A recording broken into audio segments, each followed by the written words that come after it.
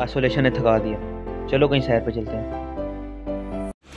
Hey guys आज फिर से हम निकले हैं पैदल। इस बार हम जा रहे हैं Eiffel tower park Bahria town मेरे साथ है फैज़ान भाई। अस्सलाम मौसम बहुत ही खूबसूरत है। वाइब्स इंतहाई पॉजिटिव ऊपर से वॉक करते हुए जा रहे हैं हम। वॉकिंग डिस्टेंस पर ही है ज़्यादा दूर नहीं है। वैसे भी कार में बैठ बैठ के थक गए थे। सो उधर पहुँच कर मिलते हैं आपसे।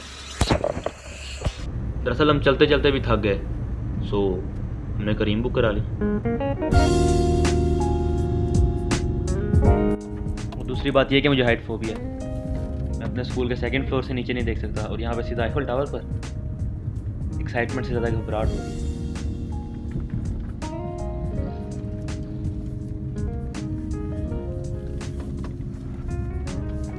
लेकिन फिर मुझे ख्याल आता है?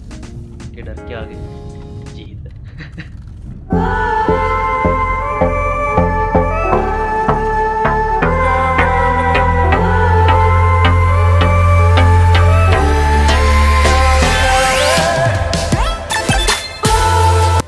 मैं सोचा इस बार हाइट फोबी को हरा दिया जाए। सीधा ही थर्ड फ्लोर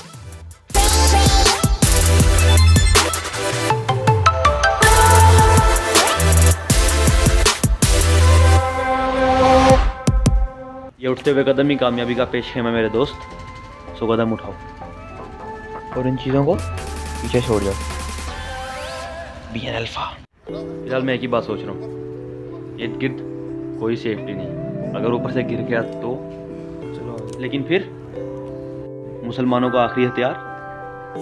मैंने भी बाकियों की तरह आयतल कुर्सी पड़ी फूकी और चढ़ गया लिफ्ट इस तरह ज़िंदगी की लिफ्ट है। ये हमें बिला मकसद ऊपर नहीं लेके जाते। ऊपर जाने के लिए हमें कुछ ट्रेड्स होने चाहिए। अगर वो ट्रेड्स नहीं हैं तो आप कभी भी ज़िंदगी के आईफल टावर के थर्ड फ्लोर पर नहीं जा सकते। और अगर आप थर्ड फ्लोर तक पहुँचे ही नहीं तो ज़िंदगी का फ़ायदा। और हाँ ट्रेड मीन्स खसूसियात।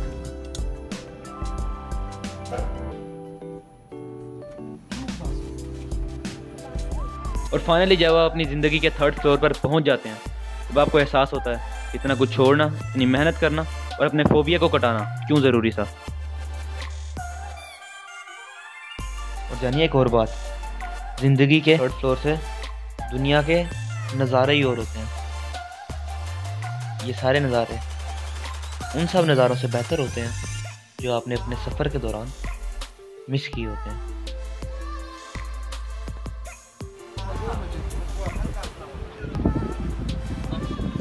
फैज़ान भाई फ़िलहाल उस मस्जिद को देख रहे हैं जहाँ मैं उनके बगैर चला गया था। और ज़रूर मुझे दिल में गालियाँ देते होंगे।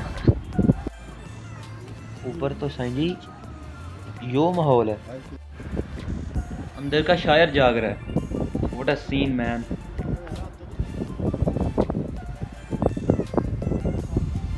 भाई लोग ये चाइनीज़ स्कीम है। पक्का ठक्का चाइनीज़ स्कीम है। पाकिस्तानी तो एक जैसे सूट नहीं पहनते इतने सारे सेम घर।